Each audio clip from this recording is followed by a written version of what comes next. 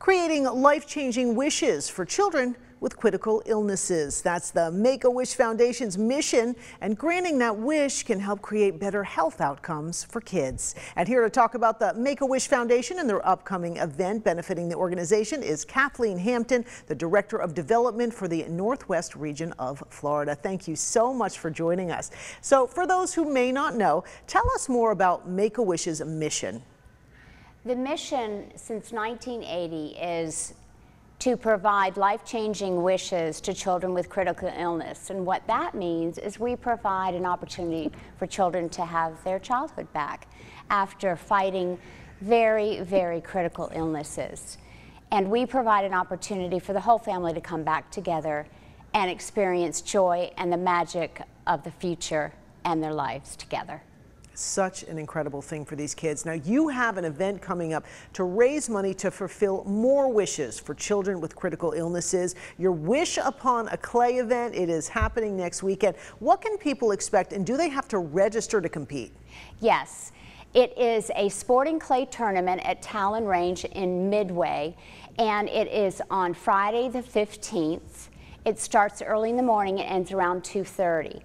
Individuals must register online by November 11th and there is a fee included, but what you get for it is a delightful time meeting new people in a sport that, that individuals really enjoy. It's competitive, we provide lunch, and an opportunity to learn more about wishes. Uh, that's great. Having a blast and raising money for a great cause, that's a win-win. Now, how have you personally seen children benefit from being able to have their wish granted? I've experienced several wishes that have come true, as well as surprises. And the neat thing about it is a child has gone through a really difficult time with medical treatment and recovery and a wish puts a smile on their face and it brings the family back together to not think about their illness, to not think what the future holds, but just be in the moment, really enjoying each other and whatever that may be. And a child has a very creative idea. They come up with all sorts of unique ideas, whether it be um, meeting their favorite sports celebrity or uh, artist and celebrity or going to Disney World because everyone wants to go to Disney World.